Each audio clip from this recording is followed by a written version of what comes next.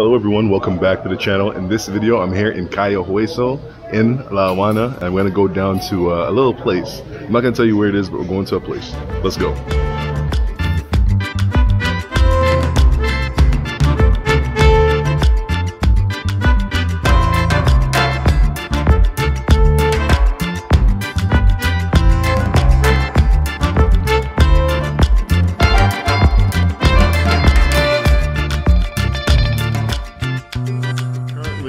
Dressed in all white, except for my sneakers, and um, that's actually a thing that's pretty common here. Now, people who are converting or in the process of getting initiated into Santeria actually dress in all white. So, I guess I'm kind of looking the part.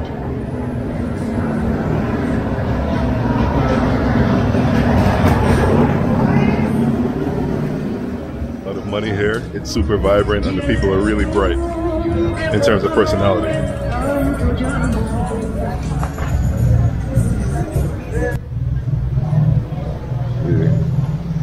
That's a common sight. These old American cars getting worked on. Of course, they're older, so they need a lot of maintenance.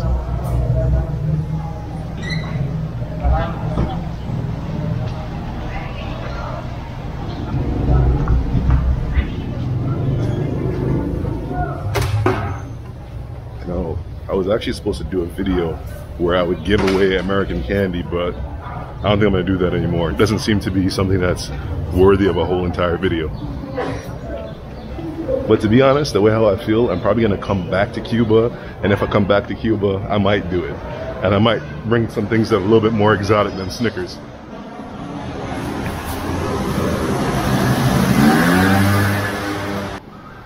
You know, I, think filming people without their permission here is um, probably a little bit taboo. So when people see me filming, they kind of have like this look like, uh oh. I'm not complete uh oh, but just like, what the hell is he doing? Who is he? Yeah, get your stretch on. Get your stretch on. Okay. I tell you, I really like this place because it's a beautiful urban ruin, right? You have vibrance, you have old buildings, you have wonderful architecture. I like it a lot.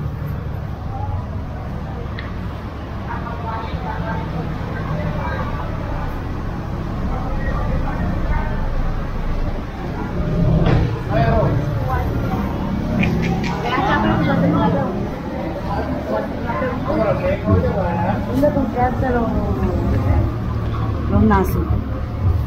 Esto. Um, en Estados Unidos, ¿No eres cubano? ¿no? Ah, Soy, soy jamaiquino. ah, mi nombre es Jami, pero pareces cubano. Mucho gusto. Regálame un biscuit para mi niño. Sí. ¿Dónde está tu niño? En casa. Ah, Vine a comprarle esto aquí, unas compotas para él. Ah, ok. Que son nazis. Ay, sí, mijo, para el círculo. Ven, Carmen, para que te den uno.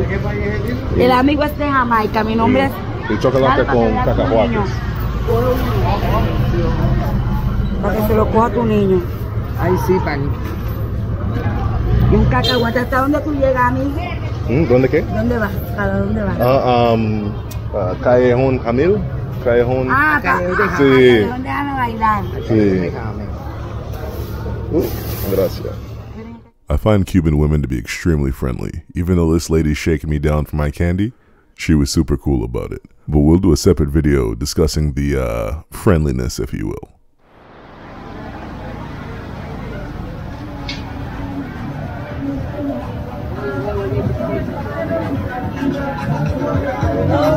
So, as you saw, I just got liberated from my uh, my American candy. No, no, bien. See, my bad, bro.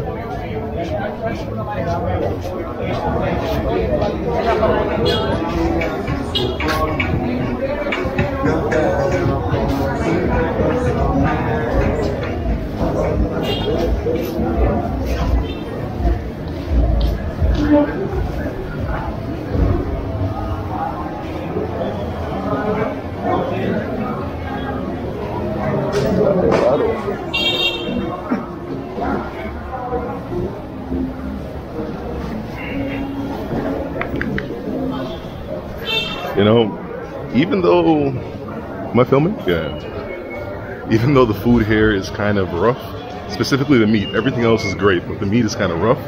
Um, I haven't gotten sick yet. And a lot of people, when they come here, they'll eat meat, then they'll get sick. I haven't gotten sick yet, so I'm a little bit happy about that. I know. The privilege right now is crazy.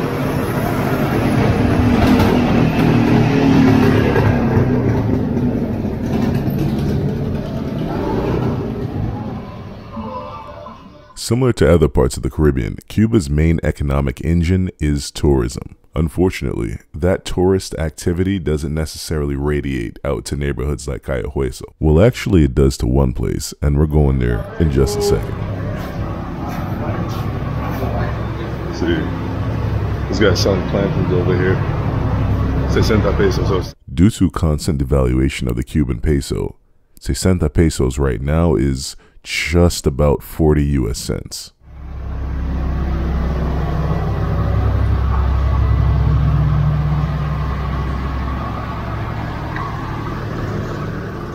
The thing that I really like about Havana, you know, is that it's really, really safe.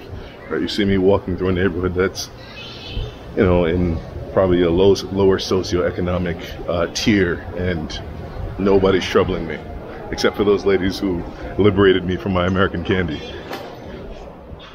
More and more as I walk these streets, I understand why people risk their lives to get out. It's not just the economic situation, but there's an undescribable weight that's here.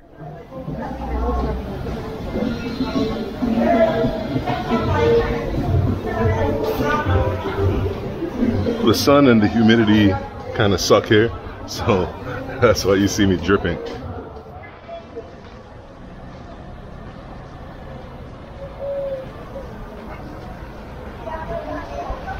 This kind of looks like a housing project. Looks like maybe it was built during the 60s or 70s. No, it's old, but it's in good construction, or of good construction.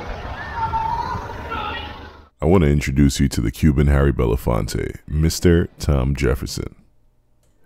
At 82 years old and in great shape, he has the ability to remember all of Cuba's recent eras. Everything from the end of World War II to the Fulgencio Batista administration to the revolution itself.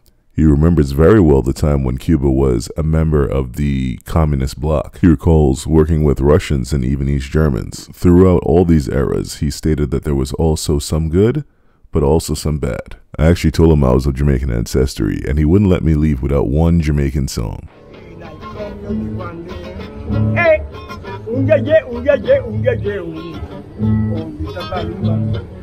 Nico, Nico, amiga, banana. This is the official Cuban remix.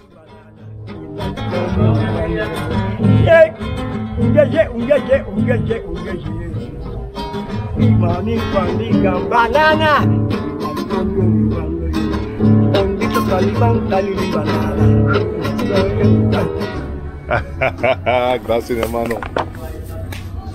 Oye, oye, eh, Kini, eh, y Cuba, ¿Cómo así? like, like. Sí, sí, la, cu- la You guys ready to see some hardcore Cuban culture? Here we go.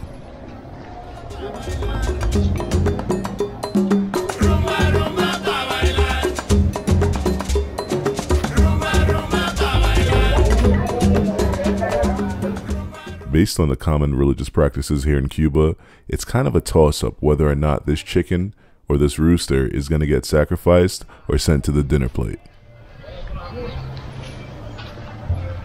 See, homeboy just randomly carrying a chicken. I love it. Uh, we have arrived. We're at Callejon de Hamel. Okay, and we're actually looking for some rumba.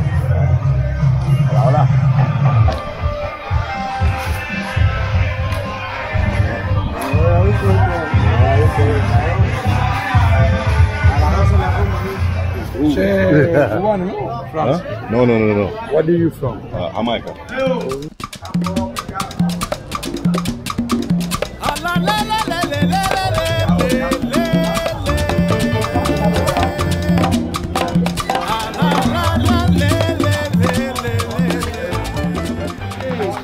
Welcome to Hamala Street.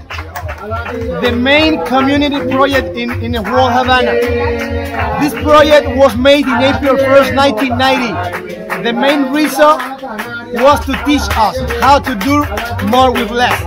Therefore, you will find all is made by recycled materials. The second one is to, to, to include the, the society, to include the, the community, to receive opportunities, something as uh, lessons, for example, some some stuff like uh, food, like groceries, pencil, pens, whatever. Because teachers like me, we are used to teach people for free, and then they are used to give us many things.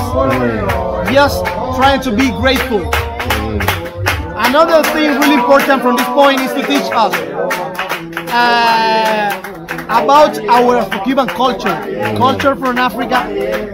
This culture came with the slaves decades ago, but we are we are how can I say? We are used to practice the religion. The 90% of my people, we are used to practice the religion. Uh, it's called uh, religion Yoruba. And the last one, it's a music area, something like that.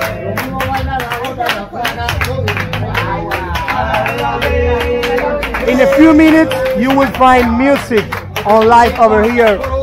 Represent Rumba Cubana. Very important note. Could you see inside of the gallery? Okay, yeah. This is the gallery of the artist. Yeah. Normally, you will see uh, his his main art.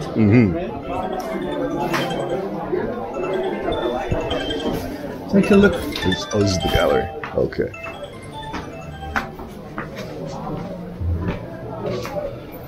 Buenas, señor.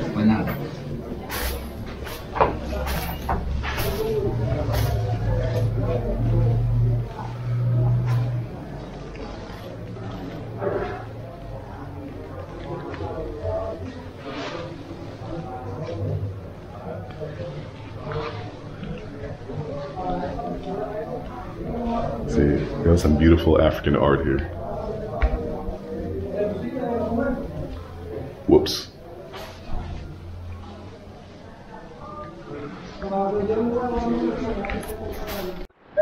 So there's actually a specialty drink here. It's called uh, El Negron, and I'm gonna try it just now.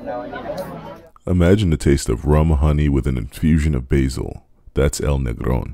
So they said this drink Negron is actually an aphrodisiac. Let's see what happens. I don't know. Things might get a little weird. I don't know.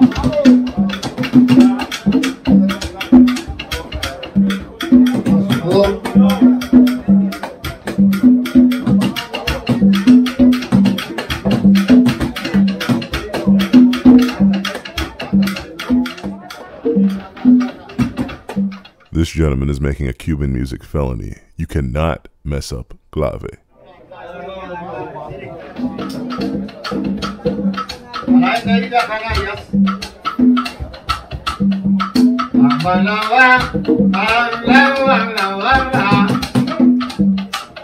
Ahora